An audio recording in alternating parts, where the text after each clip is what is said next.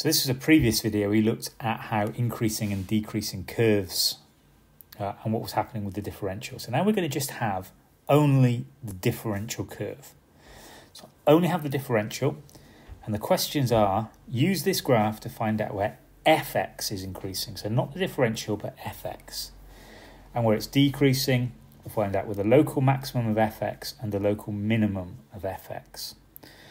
So if we remember from last time, what we know is that whenever f dash x is above the y, the x-axis is positive. So here, if I just trace across here, we've got it all positive here, all the way down to here. So if I join those up, the green is where f dash x is positive. Okay, so we can answer that first one and say between negative 3 and 5 those two points, we are increasing, and we're not equal to that. Okay, so that's where it's increasing.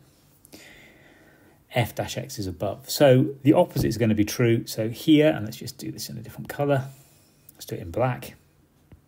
These points here in black are where f dash x is below the x-axis.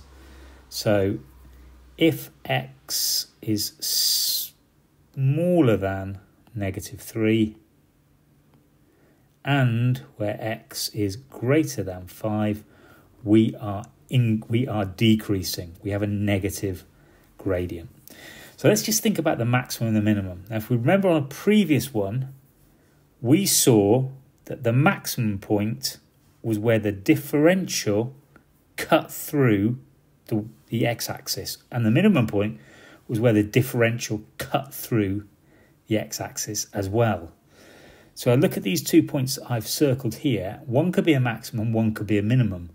Well, we're not sure. But let's think about it. At minus 3, we've gone from a negative gradient to a positive gradient. So I'm just going to sketch out what that curve's doing at minus 3. It's going to go from being negative, which means it's decreasing, so it's coming down, to a point, and then after negative 3, it starts rising again up to this point here, which is at 5. So the whole time from negative 3 to 5, we have got an increase in function. And after negative 5, it's decreasing again. So although we don't have fx, we can make a quick sketch here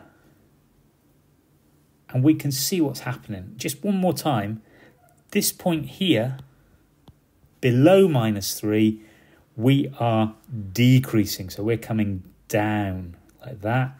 Then we increase, then we come down again. A little bit hard to get your head around all that. Let's just put those answers in. For C, the local maximum is at x equals 5. And that means that the local minimum is the other place where it cuts across the x-axis it's minus 3. So even though we didn't have fx, from f dash x, we're able to find out where it's increasing, decreasing, and where the local maximum and minimum points are.